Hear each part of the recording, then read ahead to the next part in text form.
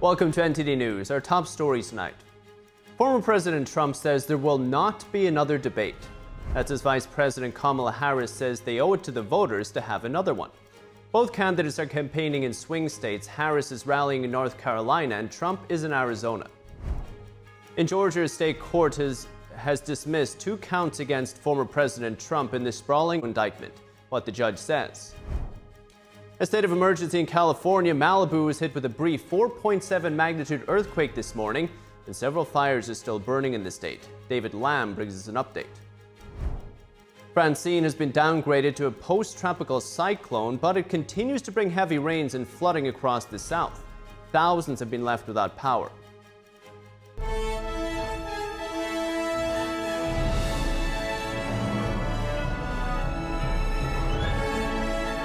This is NTD Evening News. Live from our global headquarters in New York City, here's Tiffany Meyer. Good evening. Thanks for joining us. I'm Paul Greaney, standing in for Tiffany Meyer today. Former President Trump says there will not be another debate. Today he's rallying in Arizona. NTD's Washington correspondent Jack Bradley has more. It looks like there won't be another presidential debate before the election. On Thursday, former President Donald Trump rejected any future debates. He wrote on Truth Social, when a prize fighter loses a fight, the first words out of his mouth are, I want a rematch. Kamala should focus on what she should have done during the last almost four-year period. There will be no third debate. This comes after his debate with President Biden back in June and just Tuesday's debate with Harris hosted by ABC, which was watched by 67 million Americans. After that, Harris said she would agree to a second debate with Trump. Trump said he would think about it, but now we have a clear answer. And on the campaign trail, the Grand Canyon state is in the spotlight on Thursday. Trump is rallying in Tucson, working to win over undecided voters in this swing state. So, because we've done two debates and because they were successful, there will be no third debate. And around the same time, just miles away, Vice President Kamala Harris's husband, Doug Emhoff, is holding a campaign event also in Tucson. Arizona has historically favored Republican presidential candidates, voting Trump in 2016 and nearly re-electing him in 2020. President Joe Biden won the state by 0.3 percent. Now, Biden is the first Democrat to win Arizona since 1996 and by a narrow margin. Before that, it had been another 50 years since a Democrat won the state. Next week, Trump will hold a town hall in Flint, Michigan, where he's likely to discuss policy proposals relating to inflation and the auto industry. Trump's against a growing push to transition from gas powered vehicles to electric, and he says that gas powered car bans will put thousands out of jobs. Reporting from Washington, D.C., Jack Bradley, NTD News.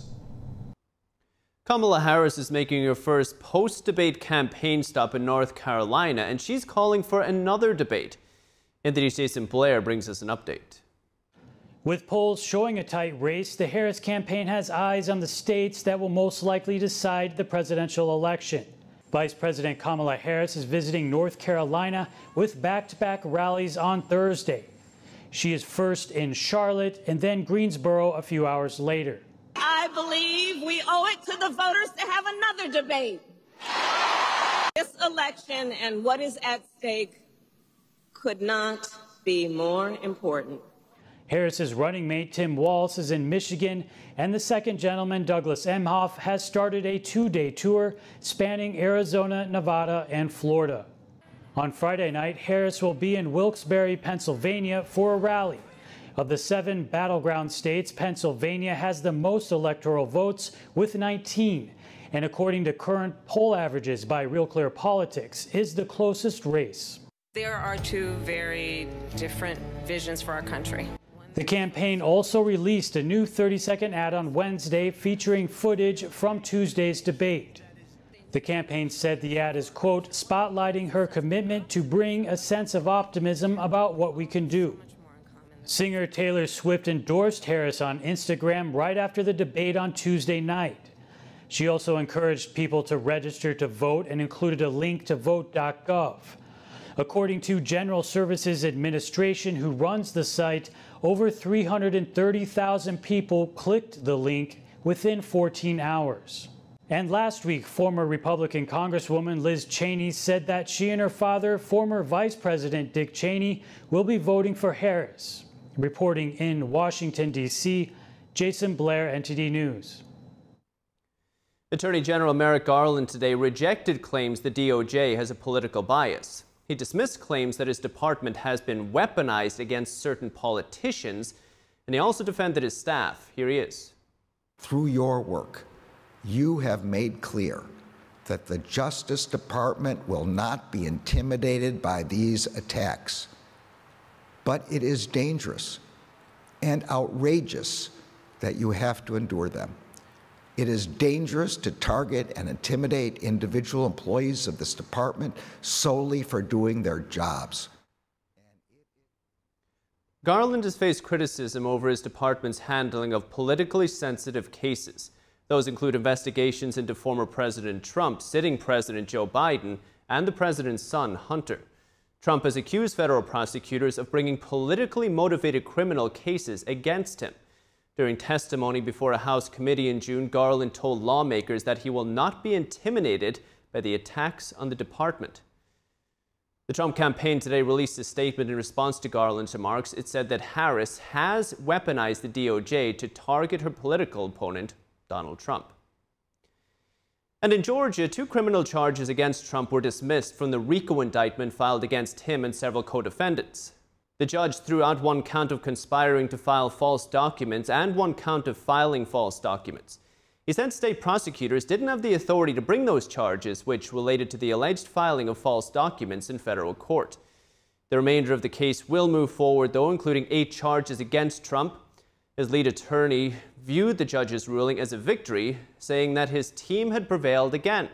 The judge also dismissed a third count against co defendant Ray Smith. And in Trump's New York criminal case, an appeals court today refused to consider the former president's request to drop the gag order. The court wrote that no substantial constitutional question is directly involved, the judge's gag order bans Trump from publicly criticizing court staff, but he is allowed to criticize the jury and witnesses. Sentencing in that case is scheduled for November 26th. A New York City Police Commissioner, Edward Caban, has resigned. A week ago, it emerged that his phone was seized as part of a federal investigation and has touched several New York officials. Mayor Adams held a press conference earlier today. Here he is. A short time ago, I accepted the resignation of the NYPD Commissioner, Edward Caban. He concluded that this is the best decision at this time. I respect his decision and I wish him well. Commissioner Caban dedicated his life to making our city safer, and we saw a drop in crime for 13 of the 14 months he served as commissioner. To ensure crime keeps going down in our city today, I'm taking immediate action in appointing Tom Donlon as interim police commissioner.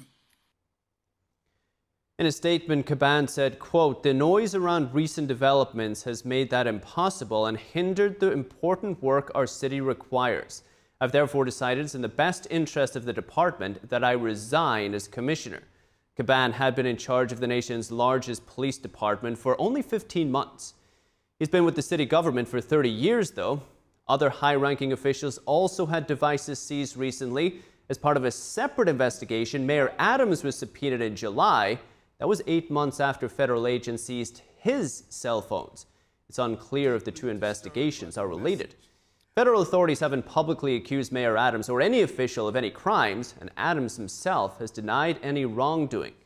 Adams appointed a former FBI official as the interim commissioner. And a 4.7 magnitude earthquake shook Malibu, California this morning, and while several fires actively burn in the state, no less, the governor has declared a state of emergency. A 4.7 magnitude earthquake shook Malibu, California on Thursday morning. It's around 30 miles west of Los Angeles. The U.S. Geological Survey said it had a depth of 7 miles. There were no immediate reports of injuries or significant damage. But the quake happened as the region deals with major wildfires. Governor Gavin Newsom declared a state of emergency in several cities impacted by fire. It is fire season. Please take seriously evacuation orders and also thank the men and women in uniform. The bridge fire grew to over 51,000 acres since Sunday and is still 0% contained. An update said that the fire behavior moderated because of an increase in humidity and cooler temperatures. A county fire spokesperson gave an update on the town of Wrightwood. With residents evacuating, firefighters were able to focus not on life safety because that threat had already been reduced. It allowed us to focus on structure defense. Firefighters made progress to target the fire 24 hours per day. The bridge fire took homes from this community, but the fact that this community is still here and as intact as it is, is a testament to the planning put in place by the community, by the residents, and by first responders. Thank you. Everybody burning out, going to the gas station, gassing their cars up, trying to get out of here before they got burnt. It was uh, it was scary, a lot more a lot more real than you realize. It's a tight-based community. We've only been here four and a half months, so that's what I'm looking forward to because everybody here knows each other. We're all a tight-based community. We all live each other. We're all uh, we all pray to God up here, and so it's all in God's hands. The line fire has now burned 37,000 acres, but is 18% contained. David Lamb, NTD News, California. And Francine has weakened to a post tropical cyclone. That's after making landfall in Louisiana as a Category 2 hurricane. It caused widespread power outages, pushed storm surges into coastal areas, and raised flood concerns in the region. NTD's Christina Corona brings us the latest. Francine Center has moved past New Orleans, unleashing heavy rainfall across Louisiana, southern Mississippi, Alabama, and leaving hundreds of thousands of customers without power. Francine made landfall as a Category 2 hurricane Wednesday evening with 100 miles per hour winds in coastal Terrebonne Parish. It has since weakened to a tropical storm depression with sustained winds of 35 miles per hour as of Thursday. By 5 p.m. Eastern Time, the storm was located over northern Mississippi and is moving north at 9 miles per hour toward Memphis. Louisiana Governor Jeff Landry gave an update on the power outages. The good news is is that at the peak, we had over 450,000 people without power, and right now we're down to 350,000 people without power. I would remind people that for us to be able to get our utilities back online, we want, if you do not have to be on the road, roadway, we urge you to stay off of the roadway. FEMA announced that federal disaster assistance is available to the state of Louisiana to supplement response efforts due to emergency conditions the pre-landfall emergency declaration that President Biden approved um, at the governor's request um, will allow us to continue to support those life-saving efforts and make sure that the governor has what he needs and his team needs to support the immediate response efforts. A man trapped in floodwaters from Hurricane Francine was rescued by a Good Samaritan, who was also an emergency room nurse. By the time I got him out of there, the entire truck was submerged, but I was probably up to like my my chest, my neck, at the spot where I was standing. So, but it was all there was also like a little dip, and I was it was like on the curve as well. So it was probably deeper right below, which the officer said I was probably around eight feet. A storm surge warning remains in place from Grand Isle, Louisiana to the Mississippi Alabama border, signaling the risk of life threatening coastal flooding. 14 million people are currently under flood warnings with heavy rain and possible tornadoes expected in the area through tomorrow. Christina Corona, NTD News. And the University of Idaho's student's murder trial won't take place in the town where the crime took place. The Idaho Supreme Court ruled today that Bryan Kohberger's trial will be moved to the county surrounding the state capital of Boise. The court says District Judge Steve Hippler of Ada County will take over the case. That's the most populous in the state, with 10 times more residents than Latah County, where the crime took place. Kohberger's legal team requested the change of venue. They argued that he might not get a fair trial in Latah County because the local community was prejudiced against him. The trial is scheduled for June 2025. Welcome back. Israel is continuing its counterterrorism operations in the West Bank, reporting significant findings in the region. Meanwhile, Israel shared a Hamas document that provides an inside look at the war in the Gaza Strip. NTD's Jason Perry has the latest.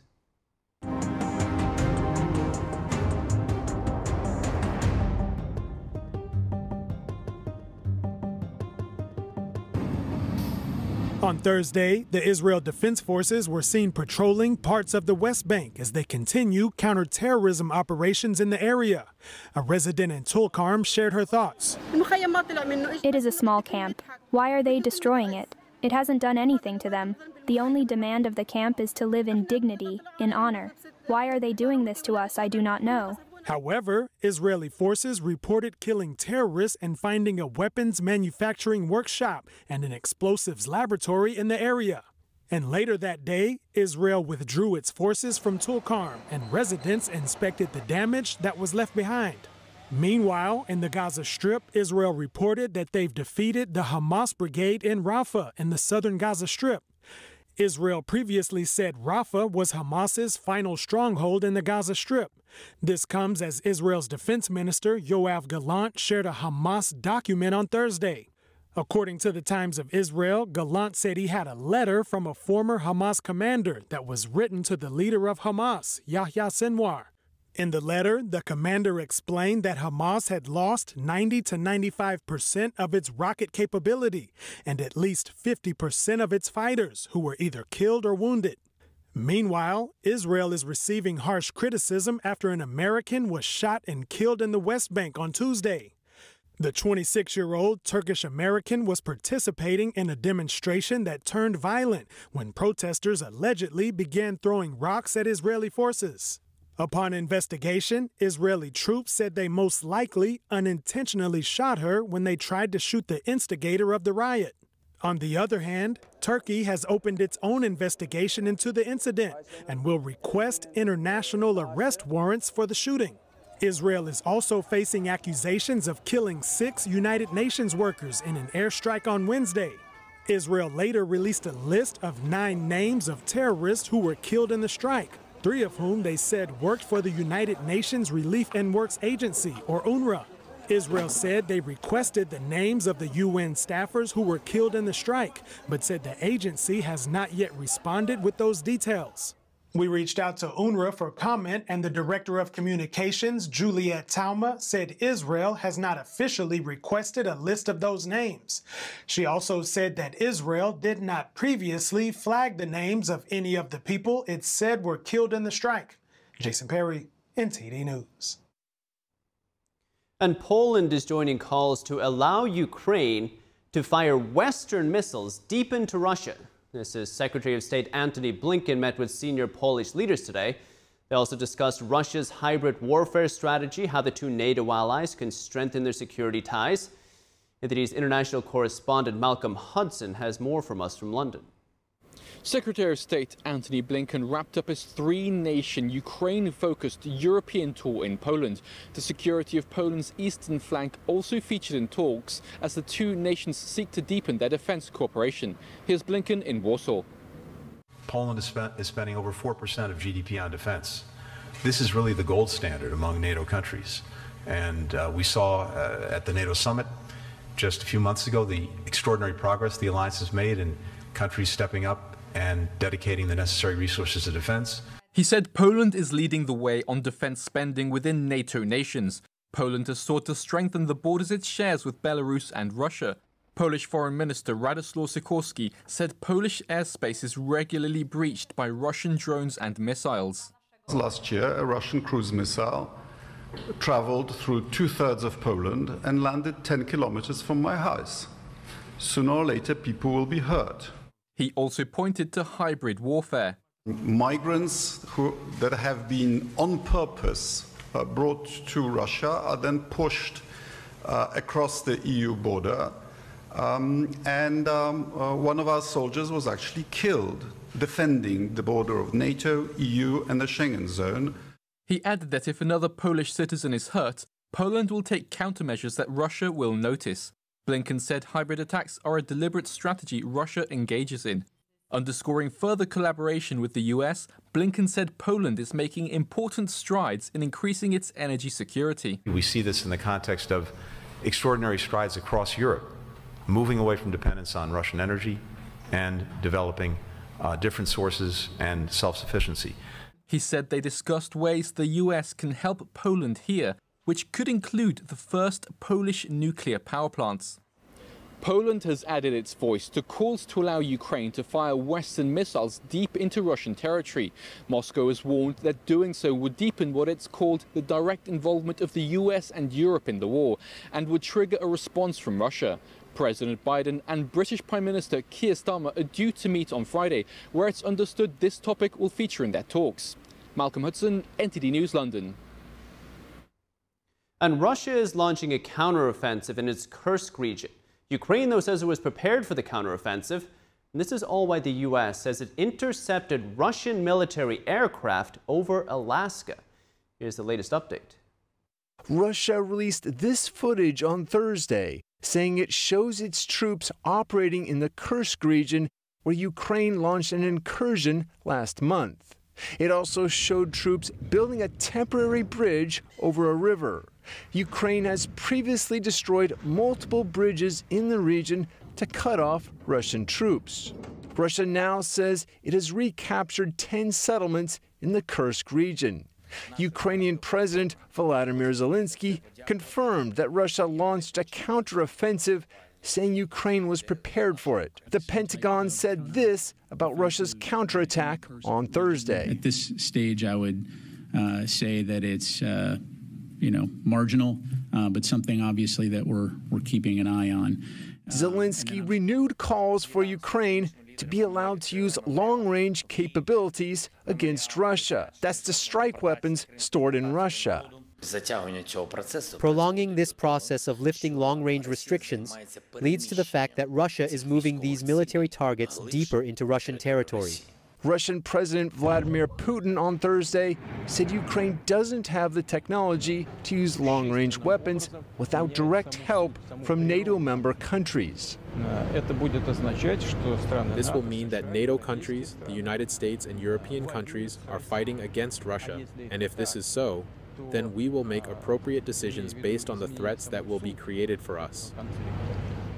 A reporter asked the Pentagon about media reports saying the State Department is considering removing the long range restrictions on Ukraine. I've uh, certainly seen the press reports on that. Uh, I would tell you uh, there has been no change to our policy. I don't have anything to announce. Uh, and certainly, if there are any changes, we'll let you know. But as of today. And Russia was also active near Alaska. The North American Aerospace Defense Command published a tweet saying NORAD detected, tracked, and intercepted two Russian military aircraft operating in Alaska on Wednesday. NORAD fighter jets from the United States conducted the intercept. The statement added that the Russian action is not seen as a threat and that NORAD will continue to monitor competitor activity and a bipartisan group of lawmakers unveiling new legislation that would strengthen U.S. sanctions on the Venezuelan regime. Our Washington correspondent Luis Martinez has more on the story. The Valor Act, a bipartisan bill presented by Republican Congresswoman Maria Elvira Salazar, would block U.S. foreign assistance to any country providing assistance except humanitarian aid to the Venezuelan regime. In a statement, Congresswoman Salazar made it clear that a message needs to be sent loud and clear that the United States will be doing no more business with the Maduro dictatorship. Yeah, but that's uh, something that we need to do and the Biden administration needs to do. Instead of rewarding the Maduro regime, we need to start punishing the Maduro regime. And yes, companies that are doing business with the regime, putting money in the pockets of these crooks, need to be sanctioned. Right, just wanting to stand with the Venezuelan community against what's going on in Venezuela with the government. And so trying to do that on a bipartisan basis. Congressman Corey Mills argued that it is in the national security interest of the United States to find a solution to the Venezuelan crisis. Our, our greatest threat isn't sitting in Ukraine 9,000 miles away, it's in our own hemisphere. And we're sitting here ignoring it. And we need to have a seat at the table. So even if you don't agree with what the Chavists are doing or you don't believe what's happening in Venezuela, you still at least need a, a seat at the table to understand what's happening so that we can actually play a role there. Because if not, the Russia, China, Iran, North Korea geopolitical alignment is going to grow stronger and stronger in our own hemisphere. And then we're not going to have anything north and south of us to be able to rely upon. The State Department announced 16 new sanctions against the Maduro regime. The Venezuelan regime claimed victory in the July 27 presidential elections, and the State Department has accused the regime of tampering with the results falsely claiming victory and widespread repression to maintain power. Opposition presidential candidate Edmundo Gonzalez is currently in exile in Spain. The Spanish government has recognized Gonzalez as the president-elect of Venezuela. It is important to note that Representatives Mills, Salazar, Jimenez, and Moskowitz are all congressmen from the state of Florida, where approximately 380,000 Venezuelans live. Reporting from Washington, D.C., Luis Eduardo Martinez, NTD News. An intra-party friction among Republicans on display as lawmakers left in limbo on how to avert a government shutdown. But the party was united today in passing their final China-related bill, although most Democrats did oppose it. NTD's Melina Wisecup reports. Wrapping up their China week, House lawmakers passed a bill meant to prevent tax dollars from propping up the Chinese regime's EV battery companies. The American people do not want CCP affiliated companies setting up shop in their towns and neighborhoods. The American people do not want to be held hostage to the whims of the Chinese Communist Party for our supply of critical minerals. Under the current regulations brought about by the Inflation Reduction Act, these nightmares have become our reality. Seven Democrats sided with Republicans, but the majority of Democrats opposed it, arguing it would hurt American innovation and businesses. Ironically, this bill would make it harder for us to compete with China. These new unclear restrictions under this bill would make it completely unworkable and lead the auto industry and battery manufacturers to pull back their U.S. investments. Republicans, however, claim that Biden's tax credits for EVs benefit China, since the country supplies the materials for EV batteries. While Republicans showed unity on this bill, cracks are showing on another. The week ended on a sour note for House Republican leadership after they were forced to yank a bill from the floor lacking their own party's support. People have concerns about all sorts of things. That's how the process works, and sometimes it takes a little more time. Speaker Johnson started out the week with high hopes of passing a bill to fund the government into March of next year, saddled with a measure to require proof of citizenship to vote. The bill doomed from the start in the Democrat controlled Senate. This proposal isn't even serious, it's dangerous. Failing to secure that full party support, House Speaker Mike Johnson is now in for a weekend of conducting touchy budget talks. Adding to the mix, former President Trump has weighed in, saying that if Republicans can't secure that voting measure, they should, in his words, in no way, shape, or form pass a short term government funding bill. Reporting from Washington, D.C., Melina Wisecup, NTD News. And welcome back. If you're just joining us now, here's some of today's top headlines. A 4.7 magnitude earthquake hit Malibu, California today. There were no immediate reports of injuries or significant damage, but the quake happened as the region deals with major wildfires. Francine has weakened into a post-tropical cyclone after making landfall as a Category 2 hurricane in Louisiana. There were no immediate reports of injuries or major damage, but over 300,000 customers remain without power. And the judge overseeing the Georgia election case against former President Trump and others tossed out three counts in the indictment. They include two counts against Trump. The judge said that the counts lie beyond the state's jurisdiction. Trump is campaigning in Tucson, Arizona, while Vice President Kamala Harris rallies in North Carolina. Trump says he won't participate in a future debate with Harris, while Harris says she's open to another round. And joining us now to discuss the debate and the future of the presidential campaign are two guests.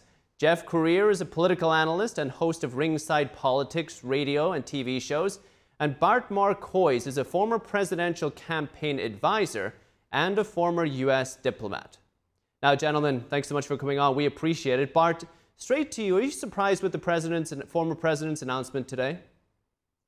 No, not in the least. I think that when he looked at the analytics after the debate and uh, uh, uh, as things have been shaking out in the last uh, 24 hours, he realized that he won that debate very handily.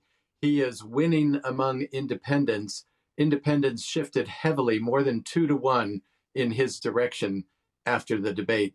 He removed the fear factor that the Democrats had thrown into it, trying to make him a, a boogeyman independents watched him and said, if that's as bad as it gets, I can live with that because I really was better off when Trump was president than I have been the last three and a half years. Now, Jeff, I want to put it to you with a little bit of a caveat. We heard people like Governor Gavin Newsom in California saying that Harris exceeded all expectations in the debate. Now, we have heard similar sentiments from both sides of the political spectrum.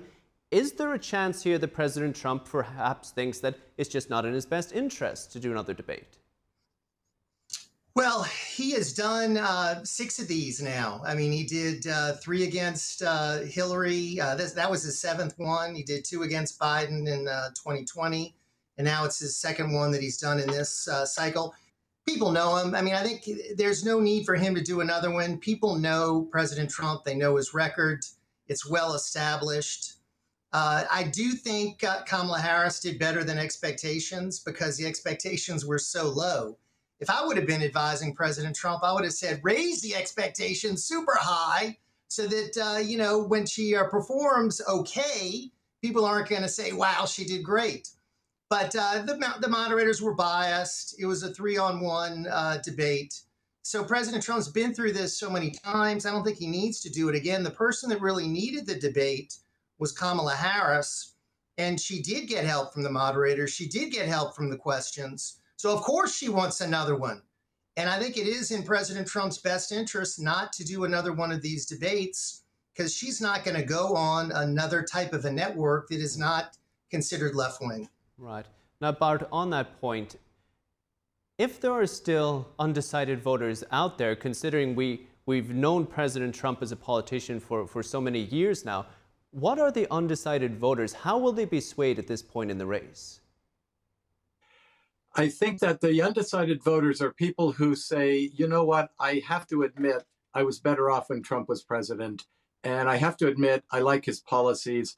I don't want more of the Biden policies, but they don't really like him. They think he's a little bit icky. They that that's something that the Democrats have been pushing, and it's it's resonated with people. It sticks, and and what they saw in the debate was that he was actually just fine. Um, and and you see you see polls in swing states saying, look, we really don't want to go to war again. And when Barack Obama was in office and when Biden and Harris have been in office, people have started wars around the world and the United States has gotten involved. When Trump was in office, there was no war started and, and the wars that had that were going on, the military conflicts that were going on, came to a swift end that's a big deal for people. Now, Bart, if, I'm not sure if you're on Twitter or not, but the sentiment among Republicans or conservatives there was that Kamala Harris was going to have a terrible debate and she's a terrible uh, candidate, et cetera, et cetera. Now, we have seen not only in the polls, but also in the betting odds that Harris is actually taking a lead over Trump. Is there a, a, a kind of, um, how would I say it, a, a complacency among Republicans, even now as we talk about Trump does not need another uh, debate over the strength of that campaign and perhaps the momentum that it is gaining?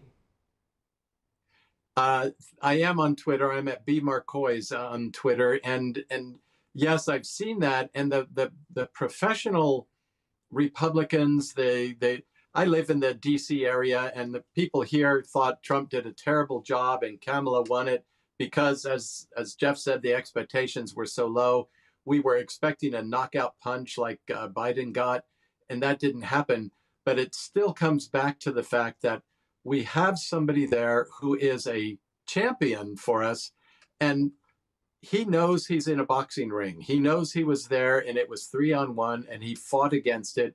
And and we look at it, and we know that when he says, "I'm fighting for you," he means it. He's a billionaire he does not have to continue fighting. He does it because he believes in what he's doing. Right. He has more power outside politics. If he quit politics, he would go back to being right. popular again. He's mm. doing it for us. Mm. We saw politicians like Mitt Romney show up to a boxing match with a badminton racket. And, you know, he swung his racket at Candy Crowley in the debate and nothing happened. Right. President Trump is there. He's boxing. He's ready and he's fighting on behalf of us. Right. And I think that as people look at that, they will continue hmm. to mm. swing toward him.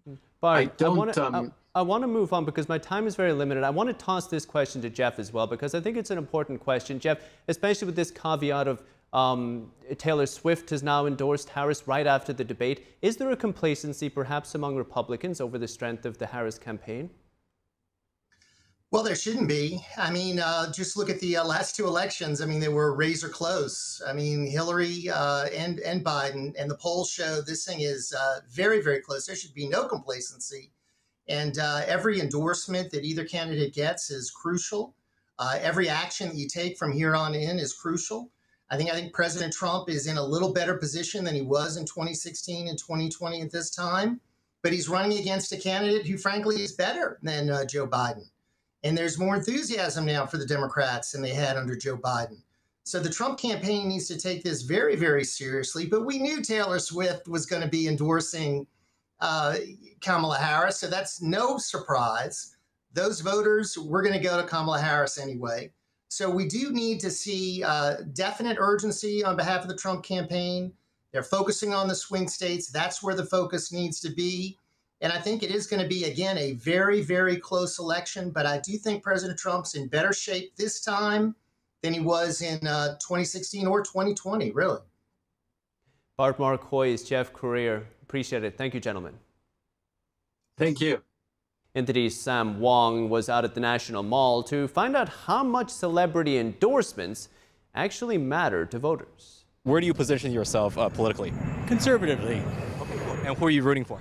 Uh, Trump. Uh, Camilla. I'm a Democrat, lifelong. I'm an independent. Independent. Uh, we're Trump fans. I'm a registered Democrat, but I'll vote. I vote usually Republican. I believe everybody has the right to vote the way they feel.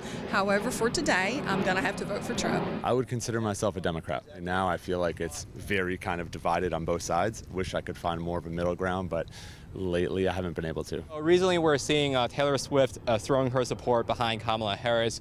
What do you make of that decision, and do celebrity endorsements matter to you?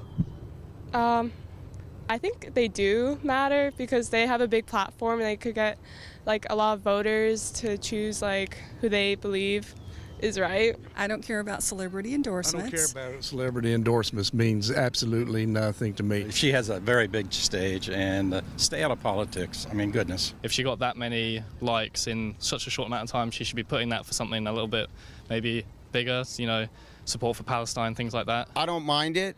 I think it'll help. I actually like when people in public eye voice their opinion because they're not scared. They don't matter to me, but I think I'm naive in the fact that they probably make a big difference. Just because you got a lot of people watching them singing, dancing, is that really knowledge of political system and what's going on in real life? I don't think so. They should stick to what they're doing. And what do you make of uh, uh, Taylor Swift's decision there? Don't care. It's a great decision. We're together. Let's go. Let's go, Taylor. Her opinion wouldn't carry any weight with me. I just think it's personal opinion. Who she wants to support, and that's that's great. And welcome back. A group of astronauts made history today. They're the first ever all-civilian crew to complete a spacewalk, leaving their ship with only their spacesuits to protect them. Here's the historic footage.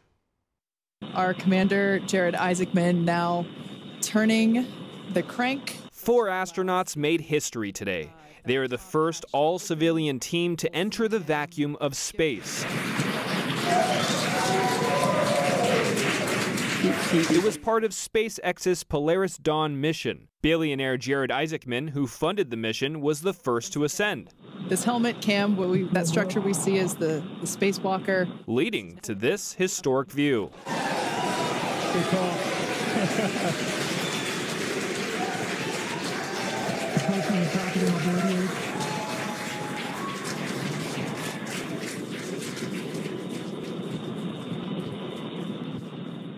One reason for the spacewalk was to test the spacesuits. SpaceX will use the tests to improve the suits and possibly use them for future missions on Mars. Out in space, the only protection astronauts have is their suits.